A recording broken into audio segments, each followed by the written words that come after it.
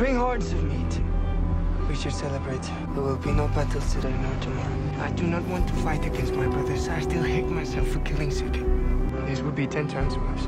I, I can't. I renounce my promise to kill Lagertha. We'll be alright. We are all sons of Ragnar. Forgive me.